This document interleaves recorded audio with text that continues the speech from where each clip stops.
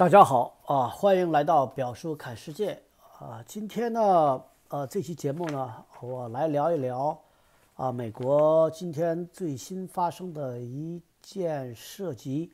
非法移民的事情啊。因为在这些非法移民的这个团体当中呢，啊，其中有不少是中国中国大陆人啊，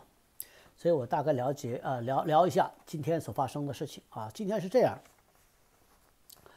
哦，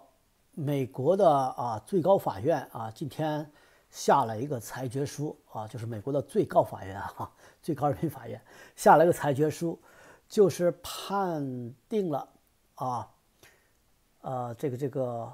呃涉及到差不多一百万的非法移民的一个案子啊，美国政府败诉了啊，美国的国土安全部。和啊，国土安全部啊，还有特朗普总统啊，这个行政当局败诉了，啊，我得给大家讲一下这个事情的背景啊。那么大家都知道啊，美国历年来都有很多的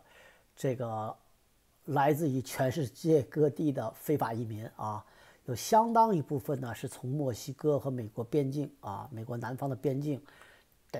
通过是翻墙啊，或者是挖地道啊，啊，或者是藏在这个呃呃卡车里啊，或者藏在这个小汽车里啊，通过这个公路啊，这种方式也是五花八门啊。这种方式呢啊，入境美国的啊，都属于是非法入境者啊，通常呢叫非法移民啊。那那那么最近这这这这十来年来呢，像非法移民也不提了啊。啊，叫做无证移民啊，是为了政治正确啊，还要讨好一下这些非法移民。原来叫非法，现在就叫做过去叫 illegal aliens 啊，就是非法移民。而现在呢，大家经常在媒体上看到的呢，就不叫非法移民了，叫做 undocumented aliens，就是说没有经过啊，就是没有文件的啊，没有经过这个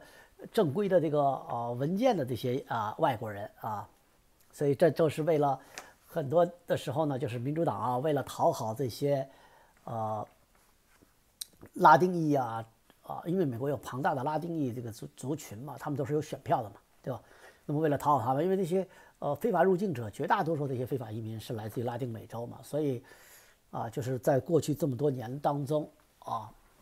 啊，非法移民的字眼儿也就逐渐就消失了。那么在美国呢？啊，据非官方的估计啊，大概有一千五百万左右的非法移民啊。当然，这非法移民其实也有很多，也有不少是来自于其他国家啊，包括像来自于亚洲的，甚至可能还有欧洲的都有啊。因为有的就是说，包括逾期签证逾期，然后非法滞留，这都属于这一类啊。就是说我黑了，我就不走了，我跑了，对不对？反正你也找不着我。美国这么大，是吧？那么这这一类的人呢，啊，大概就是说，呃，据美国的这些一些啊移民的一些研究机构吧，啊，呃，他们的估计说是，呃，一千五百万人，但是这个东西也很难说的准，对吧？但是一千万以上那是肯定有了。那么在奥巴马执政的这八年当中呢，啊，来的非法移民就比较多啊，因为美国在这方面管得比较松。啊，那么其中呢，就有很多的非法移民呢，他们是被父母带进来的啊，就是说，在过去的这个十几年甚至十五年、二十年这个过程当中啊，很多小孩啊是被父母非法带进来的。那么这些人呢，在美国长大了，对吧？然后呢，他们又结婚了，然后他们又有孩子啊，他们的孩子呢是在美国出生的。所以呢，就是涉及了将近有一百万这一类的人，啊，通常在美国呢，管他们叫梦想者啊，叫 dreamer，啊，那么在奥巴马最后执政的这这几年当中呢，啊，奥巴马就有一个新的这个，他就设了这么一个啊，啊，就是他执政的时候啊，那个移民局啊有这么一个啊设这么一个啊啊规定，一个实际上是一个。成文的规定啊，它叫做 Deferred Action for Childhood Arrivals 啊，这是一个保护啊，像行政令是个保护命令啊，就是什么呢？意思是什么呢？就是说，这些作为小孩来美国的这帮人啊，啊，是不能够立马啊驱逐出境的啊，叫做 deferred，deferred 就是延延迟的，延迟的啊，对他们采取行动啊。那么所以说呢，因为有了这个保护令，所以这些人呢就被保护下来了啊，就是说。很多的情形下，这种非法移民一旦被抓，对吧？一旦被抓了，说哎抓到你了，就得要驱逐出境。但是呢，因为有这个保护令啊，他保护的这个令呢，就是有这么一个范围，就是说，呃，小的时候，呃，这父母把他带进来的啊，那这种呢，你就不能把他驱逐出境啊。所以是有这么一个历史背景。那么特朗普上台了呢，他川普总统上台以后，他知道了这个所谓的叫做 DACA 啊，D-A-C-A。的这个啊呃这个规定以后，他就一直想把它推翻啊，想把它推翻，然后呢就想方设法呢把这帮人呢啊驱逐出境啊驱逐出美国。那么他的这个想法啊是一直在美包括在美国共和党之内都是有争议的啊，因为啊很多呃这个移民利益团体就说这些小孩儿他们来到美国，第一是父母带进来的。这不是他们的过错，啊，不能够惩罚他们。第二，这些小孩从小就生长在美国，啊，虽然他们身份是是没有的啊，他们是没有身份的，包括他们的父母可能都是非法的这种身份，啊，一直就是这么非法的，啊，但是呢，他是成长在美国，他们对他所谓的祖国是一概不知，你把他赶回去。他们怎么生存，怎么生活啊？这就是很多美国的移民利益团体的这个呃争论所在处，呃呃是争论的地方。那么，呃，共和党呢，他啊整体来讲，共和党人呢，他也不希望因为这件事惹怒了拉丁裔啊拉丁裔的选民，因为毕竟啊拉丁裔和有色人种这个选票啊。总的来讲，对共和党还是比较重要的啊，因为共和党一直想拉这方面的选票，但是一直就没有特别的成功啊。为什么呢？就是因为在移民对待移民的这个非法移民的这个立场上啊，通常是趋于保守，也就是说让他们走路啊，所以呢不想把这事儿给搞得特别的僵啊。那民主党呢，就是说 OK，让这帮梦想者立刻的把身份合法化。对吧？立刻的给他们呃绿卡等等等等啊，所以呢，这里面是有政治是有政治的啊，涉及到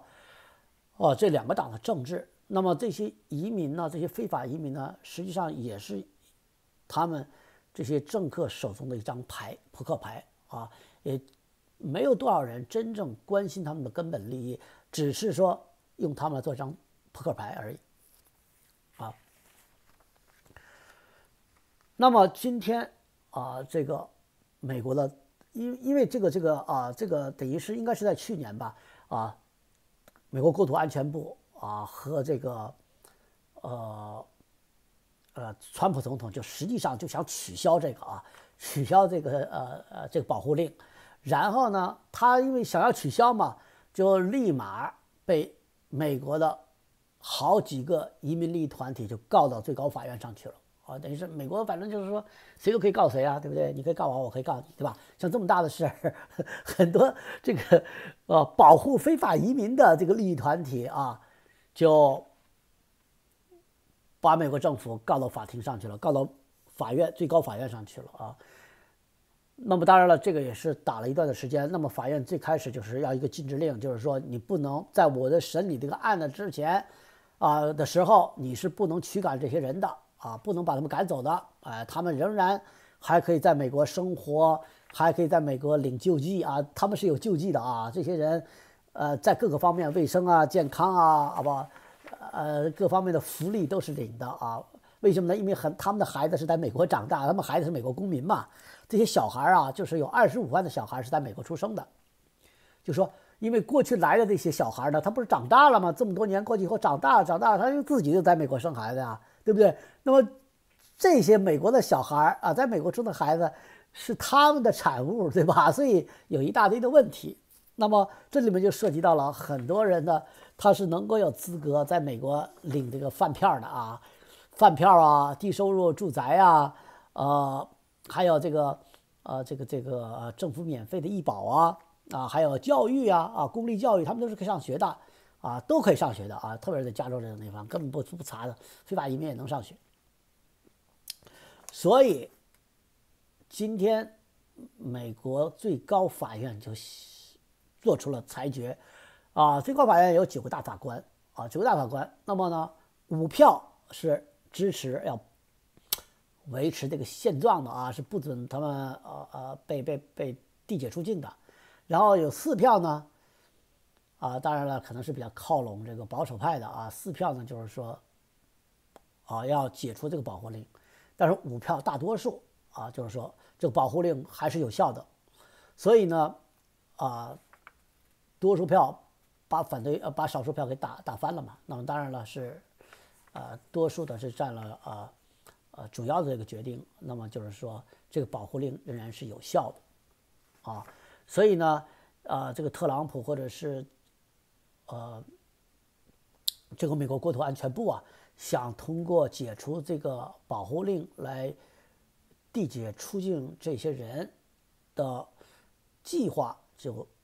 告一段落了，就落空了啊，落空了。所以这个对于非法移民来讲是一个胜利啊，对于非法移民来讲是一个胜利。当然了，这个虽然没有解决他们的根本问题，但是在短期内啊，在一段时间内，他们是不可能被非法，就是不可能被地铁出境的啊，所以他们是可以基本上是可以安心的。所以今天呢，很多的美国的众议院啊、参议院啊这些啊。呃，参议员啊，特别是民主党的啊，哎，都发表了声明，就是说支持美国最高法院的这个决定，啊，在这个一百万人当中吧，啊，起码这个华人也要占好几万人啊，因为什么呢？啊，其实这个保护令的范围是非常广泛的啊，非常广泛的，啊，那么有一些过去是啊入境的非法入境的一些华人呢，在这个。啊，呃呃，这个美国最高法院的这个啊，今天这个决定下呢，他们能够能够安心的待在美国了啊，能够安心待在美国啊，所以今天呢，这个是在美国来讲呢，是涉及到移民的一个最大的一个消息啊，最大的一个消息啊。那么前几天呢，还有一个啊，当然了，这个还没有啊，还没有通过啊，这个呢是涉及中国人的啊，美国国会吧，美国国会。啊，众议院有几个众议员啊，起草了一个新的啊提案。这个提案呢，就是说禁止啊，禁止中国共产党员啊获得美国国籍，哈，获得美国绿卡啊，这是一个。啊，还有一个呢，呃，就是涉及到一 B 五投资移民，因为一 B 五投资移民呢，客户啊，绝大多数最近几年来啊，绝大多数都是中国人啊，来自于中国大陆。那么，另外那个涉及到一 B 五的这么一个提案呢，啊，是来自于美国的呃参议院，啊，也是几名参议员，啊，认为，啊，所谓的中国投资人，啊，他当然没有说中国投资人，他说是中共啊，滥用这个一比五法投资法案，所以啊，要对这方面中国的这个投资人进行一个清查啊，清理调查，啊，防止渗透啊，所以啊，涉及中国人的几个。啊，中国移民的几个啊提案啊还在酝酿当中。当然了，这些提案最终能不能够啊真正获得通过啊，那还要相当一段的时间。好，那么今天我就跟大家聊到这儿啊。如果大家是第一次呢啊，如果有朋友第一次看我的节目，欢迎你订阅啊，并打开旁边的小铃铛啊，有新的节目你能够得到及时的通告。啊，谢谢大家的收看啊。咱们下一集再见。